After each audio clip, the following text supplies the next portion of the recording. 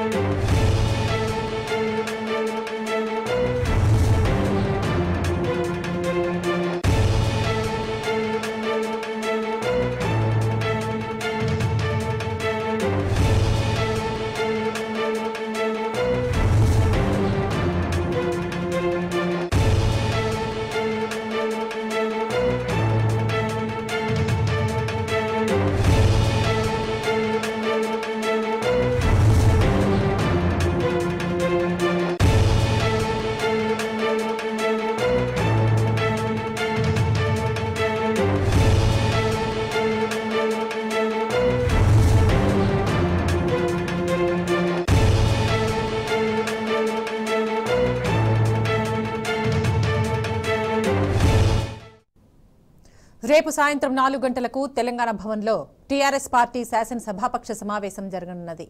TRS party అధినేత ముఖ్యమంత్రి కేసీఆర్ అధ్యక్షతన ఈ సమావేశం జరగనున్నది.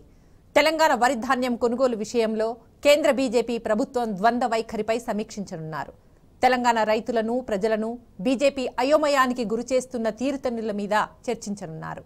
భవిష్యత్ కార్యాచరణను టీఆర్ఎస్ ఎల్పీ సమావేశం రూపొందించనున్నది.